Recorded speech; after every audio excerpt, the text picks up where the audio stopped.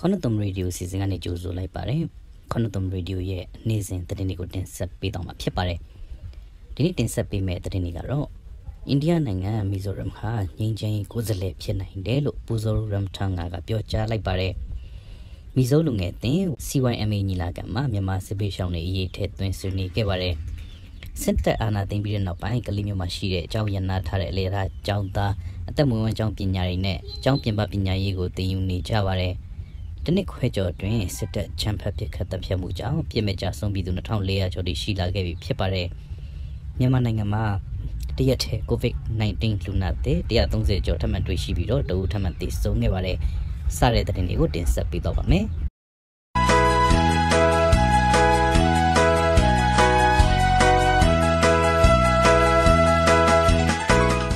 အခုအဆုံးတင်ဆက်ပေးမယ့်သတင်းကတော့မြန်မာနိုင်ငံမှာလက်ရှိဖြစ်ပေါ်နေတဲ့နိုင်ငံရေးမတည်ငြိမ်မှုတွေ ကြားဝင်ဖြည့်ရှင်းပေးဖို့အတွက်မီဇိုရမ်ဟာငြိမ်းချမ်းကိုယ်စားလှယ်ဖြစ်နိုင်တယ်လို့ဝန်ကြီးချုပ်ပူဇော်ရမ်ထန်ကပြောကြားလိုက်ပါတယ်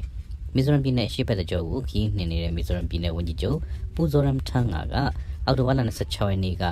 ခွန်ဇောခရိုင်ယုံတိဆောက်ရေးလုပ်ငန်းတွေကြီးစုစစ်ဆေးရမှာမြန်မာနိုင်ငံအခြေအနေနဲ့ပတ်သက်ပြီးတော့ခုလိုပြောဆိုခဲ့တာလို့မီဇိုရမ်ဆိုရပြန်ကြားရေးဌာနကထုတ်ပြန်ပါတယ်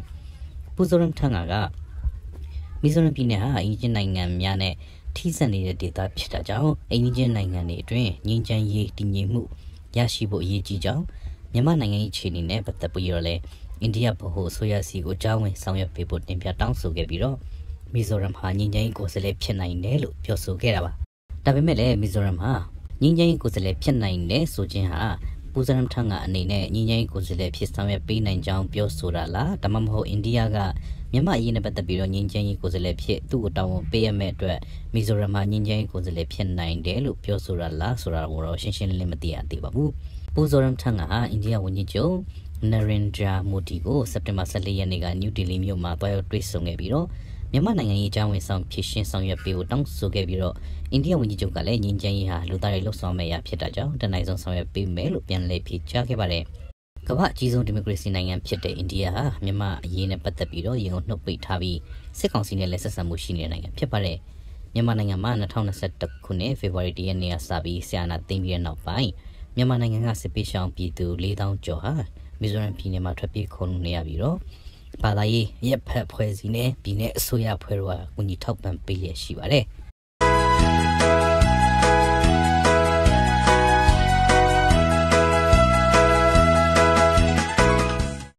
နောက်သတင်းကတော့အိန္ဒိယနိုင်ငံမီဇိုရမ်ပြည်နယ်အတွင်းမှာရှိတဲ့ရပ်ဖက်လူမှုအဖွဲ့အစည်းမှာအကြီးဆုံးနဲ့ဩဇာအရှိဆုံးဖွဲ့စည်းဖြစ်တဲ့မီဇိုလူငယ်အသင်း Central Youth Mizo Association ရဲ့တတိယအချိန်မြောက်အထွေထွေညီလာခံကြီးကိုအောက်တိုဘာ29ရက်နေ့ကကျင်းပခဲ့ပါတယ်။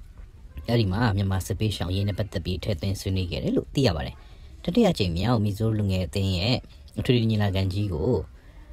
ကျင်းပခဲ့ပြီးတော့အဲ့ညီလာခံအစည်းအဝေးမှာဆွေးနွေးမဲ့အကြောင်းအရာ၁၀ခုကျော်တွေကမီဇိုရမ်ပြည်နယ်တွင်ရောက်ရှိနေကြတဲ့မြန်မာနိုင်ငံကစစ်ပေးရှောင်ပြည်သူတွေအတွက်ကောင်းမွန်တဲ့စစ်ပေးရှောင်စခန်းတွေစနစ်တကျဆောင်ရွက်ပြီးတော့အဲ့ဒီစခန်းတွေမှာစစ်ပေးရှောင်တွေအားလုံးကိုထားရှိဖို့အစိုးရအနေနဲ့စီရင်စဉ်ဆောင်ရွက်ပေးဖို့ဆိုတဲ့အကြောင်းအရာလည်းဆွေးနွေးခဲ့ကြတယ်လို့မီဇိုရမ်လစ်စင်ထိုးဗန်လိုင်းနီသတင်းစာမှာဖော်ပြပါတယ်။အဲ့ဒီသတင်းစာမှာမြန်မာနိုင်ငံနေရောက်ရှိလာတဲ့စပေးရှောင်းတွေနေရာနှံ့ပြမှာရှိနေကြတာကြီးမားတဲ့ခက်ခဲ စိန်ခေါ်မှုရှိလာနိုင်တဲ့အတွက်အစိုးရအနေနဲ့ဒီထက်ကောင်းမွန်တဲ့စပေးရှောင်းစခန်း relief camp တွေစောက်လုပ်ပြီးတော့ဒီစခန်းမှာအကုန်လုံးနေရာချထားရေးအစိုးရစီကို CYM အနေနဲ့တိုက်တွန်းဆောင်ရွက်ဖို့ဆွေးနွေးအတည်ပြုကြခဲ့ကြတယ်လို့ဖော်ပြထားပါတယ်။ချင်းပြည်နယ်နဲ့နမိတ်ချင်းထိစပ်နေတဲ့မီဇိုရမ်ပြည်နယ်မှာမြန်မာနိုင်ငံကစစ်ပေးရှောင်ပြည်သူ4000ကျော်လောက်ဝင်ရောက်ခိုလုံနေပြီးတော့အများစုကတော့ချင်းလူမျိုးတွေဖြစ်ပြီးစစ်ပေးရှောင်စခန်းနဲ့စခန်းပြင်ပမှာအိမ်ငှားပြီးနေထိုင်ကြတယ်လို့သိရပါတယ်။ မီဇိုရမ်ပြည်နယ်ဝင်ရောက်ခိုလုံနေကြတဲ့မြန်မာနိုင်ငံကစစ်ပေးရှောင်တွေကိုအိန္ဒိယဗဟိုအစိုးရကအတိမတ်ပြုတရားဝင်လက်ခံခြင်းမရှိပေမဲ့လည်းမီဇိုရမ်ပြည်နယ်အစိုးရနဲ့မီဇိုရမ်အတွင်းမှာရှိတဲ့အရက်ဖက်အဖွဲ့အစည်းဘာသာရေးအသင်းဖွဲ့တွေကတော့လက်ခံကြိုဆိုပြီးတော့လိုအပ်တဲ့အကူအညီတွေထောက်ပံ့ပေးလျက်ရှိပါတယ်။မီဇိုရမ်ပြည်နယ်အတွင်းစစ်ပေးရှောင်အရေးနဲ့ပတ်သက်ပြီးတော့အိုင်ဇောမြို့ကော်မရှင်နာမင်းကြီးကလည်းလိုက်နာမဲ့စီကံသမချက်17ချက်ကိုစက်တင်ဘာ28ရက်နေ့နေ့စွဲနဲ့ထုတ်ပြန်ခဲ့ပါတယ်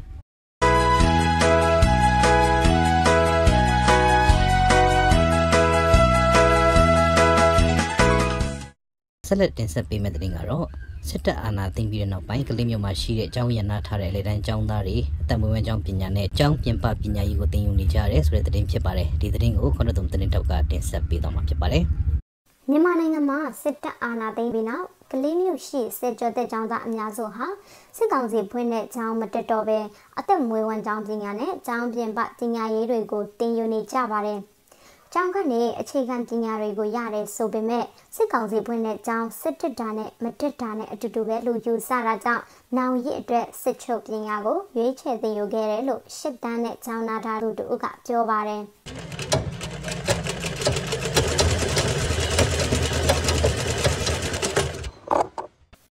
ငယ်ချင်းတွေတက်တဲ့တခြားကြောင်းဖွင့်တဲ့နေရာတွေရှိပေမဲ့ဘာဖြစ်မယ်ဆိုတာဘယ်သူမှကြိုမပြောနိုင်ဘူးဆိုတော့ကိုယ့်အတွက်အနေအကင်းဆုံးဖြစ်မယ်ထင်လို့စစ်ချုပ်ကိုရွေးချယ်ခဲ့တာပါပြီးတော့အခြေခံကနေတင်ရပါတယ်ကဲလို့ကြောင်းပြန်ဖွင့်ပြခဲ့မယ်ဆိုရင်စစ်တက်ချင်ပါတယ်အချို့ကိုနောက်မှဆက်လို့လို့လည်းရတယ်ပြီးတော့ကိုယ့်ရဲ့ရှိရဲ့အတွက်ပညာရလည်းအခုချိန်တည်းအဆင်မပြေသေးဘူးဆိုတော့မတက်တာနဲ့တက်တာနဲ့အတူတူဖြစ်လောက်မှထင်ပြီးတော့ပူကောင်းတဲ့လမ်းကိုရေးချဖြစ်ခဲ့တယ်လို့ပဲကိုကထင်ပါတယ် ကလေးမျိုးမှာကြောင်ရနာထားတဲ့စေကျော်သက်လူငယ်အချို့ဟာစစ်ချုပ်တင်တန်းဒုနာပြုတ်အကူတင်တန်းစစ်ပြင်တင်တန်းစတဲ့အသက်မွေးဝမ်းကြောင်းပညာတွေကိုလေ့လာသင်ယူနေကြသလိုအချို့သူတွေကလည်းကျောင်းပြင်ပပညာရေးကိုဆက်လက်သင်ကြားနိုင်ဖို့ကြိုးပမ်းနေကြရပါတယ်စစ်တပ်အာဏာသိမ်းပြီးတနှစ်ကျော်အကြာကျောင်းမတက်ခဲ့တဲ့ငါးတန်းကျောင်းသားလေးကတော့အသိပညာအတတ်ပညာတွေမလျော့အောင်စနေအသင်းတော်ကဖွင့်တဲ့ကျောင်းမှာတက်နေတယ်လို့ပြောပါတယ် ကျောင်းမတက်ရတာဆိုတော့အမိအဖေရဲ့အလုပ်တွေကိုလည်းပြင်ကျန်းတိုက်တယ်ပကံစည်းတယ်ပင်လဲတယ်ဂိမ်းတွေဆော့တယ်မိဘတွေကတော့ကျောင်းမတက်ရတာတနည်းခွဲလောက်ရှိပြီဆိုတော့ကျောင်းတက်စီချင်တယ်ဒီတာရောကခုဆို Adventist School မှာတက်တယ်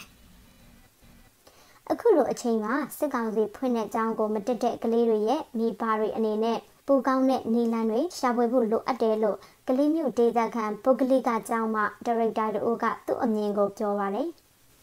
ကျွန်တော်တို့အောင်မြင်မှုဆိုတာကတော့တောင်းစာနဲ့တော့အရင်ကြီးမတက်ဆိုင်ဘူးပေါ့ကလေးတယောက်ကအောင်မြင်မှုရဖို့ကချောင်းမသိရင်လဲသူစူးစမ်းမှုနဲ့သူ့ရဲ့စိတ်ဓာတ်ပေါ့နော်ချက်မှုပေါ်မှာမူတည်မှလို့တယောက်ကတော့အောင်မြင်တာပေါ့နိုင်ငံကြောင့်မလို့ဆင်မပြေတဲ့ချိန်မှာကြောင်းပိတ်တာမပိတ်တာဆိုတာဖြစ်နိဗ္ဗာန်ရဲ့အဓိကကြမယ်ခုကလေးအတွက်စဉ်းစားရင်တော့လိုလင်ကြံစားနေလိုက်ရဆိုတာလေတလားမရှိတလားတော့ရှိပါတယ်ဟိုကလည်းကလေးတွေကအောင်မှုရနိုင်သေးတယ်ခွင့်ရည်အများကြီးရှိတယ်ဆိုတော့မကောင်းတဲ့ကြားထဲကဘူကောင်းအောင်ဘာတွေလုပ်မလဲဘာတွေလုပ်နိုင်သေးလဲဆိုတဲ့အကောင်းဆုံးကိုပဲကျွန်တော်မျှော်လင့်ပြီးမှလုပ်တော့ရယ်ပေါ့နော်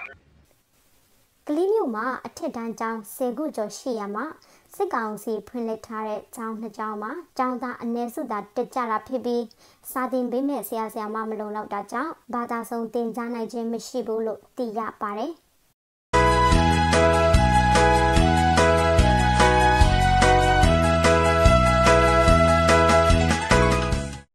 နောက်သတင်းကတော့မြန်မာနိုင်ငံမှာအာဏာသိမ်းတစ်နှစ်ခွဲကျော်ကြာစစ်ကောင်စီတပ်တွေကြမ်းဖက်ပစ်ခတ်တပ်ဖြတ်မှုတွေကြောင့်နိုင်ငံတော်အပြစ်မဲ့ကြဆုံးပြည်သူ2400တယောက်နဲ့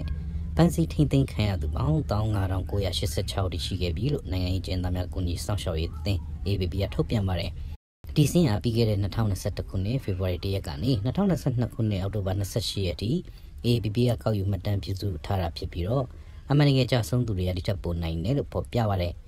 နယူးတော်လိုင်းကာလအတွင်းဒီနေ့အထိ1983ယောက်လက်ရှိချုံတော်ခံထားဆဲဖြစ်ပြီး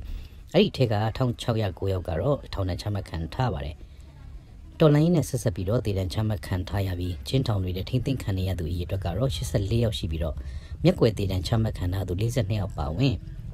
121ယောက်ကတော့မျက်ကွယ်ပြတံချမှတ်ခံထားတာကြောင့်တည်တံချမှတ်ခံထားသူစုစုပေါင်း126ရှိလာခဲ့ပြီဖြစ်ပါတယ်လက်တလောအချိန်ထိအမကန်နဲ့လွတ်မြောက်လာသူ22ယောက်ရှိပြီး ပြန်လည်လွတ်မြောက်လာသူဦးရေကတော့3181ယောက်ရှိခဲ့တယ်လို့ဆိုပါတယ်ဒါ့အပြင်အာနာသိန်းချင်းကနေပြီးခဲ့တဲ့စက်တင်ဘာလကုန်ထိဂျမ်ဖက်ဆဲစုကမတရားချိတ်ပဲသိမ်းဆဲခဲ့တဲ့နေစာအုပ်ရေးအတွက်ကတော့စုစုပေါင်း980ထက်မနည်းရှိခဲ့တယ်လို့ဆိုပါတယ်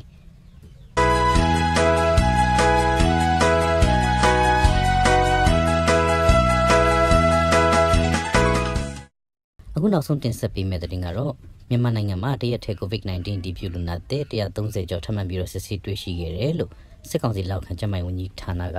မနေ့ကညပိုင်းမှာထုတ်ပြန်ထားပါတယ်။ပြီးခဲ့တဲ့24နာရီအတွင်းတခွင့်နမူနာစုစုပေါင်း1059ခုစစ်ဆေးခဲ့ချိန်မှာပိုတီလူနာတက်132ယောက်ထပ်မံတွေ့ရှိခဲ့တာဖြစ်ပြီးတော့ယောဂပိုးတွေ့ရှိမှုရာခိုင်နှုန်းကတော့1.3ရာခိုင်နှုန်းရှိနေခဲ့တာပါ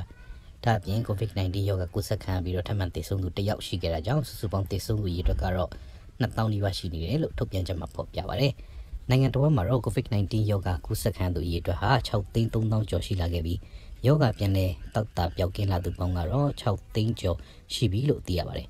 အမျိုးသားညွေဆွဲအန်ယူဂျီကျန်းမာရေးဝန်ကြီးဌာနကတော့ COVID-19 တစ်ဖြစ်ပွားမှုဟာတကဘာလုံးတိုင်းတာရမြင့်တက်လာလို့ကမ္ဘာကျန်းမာရေးဖွဲ့ထုတ်ပြန်ချက်ကိုကိုးကားသတင်းထုတ်ထားပါတယ်။ဒါကြောင့်ပြည်သူလူထုအနေနဲ့ COVID-19 ရောဂါကာကွယ်ဆေးထိုးနှံခြင်းအပြင် မဖြစ်မနေလိုက်နာကြရမယ်ကာကွယ်နည်းလမ်းတွေကိုဆက်လက်လိုက်နာဆောင်ရွက်ကြဖို့အထူးရည်ကြည်တယ်လို့ NUG ဆိုရကတိုက်တွန်းထားပါတယ်။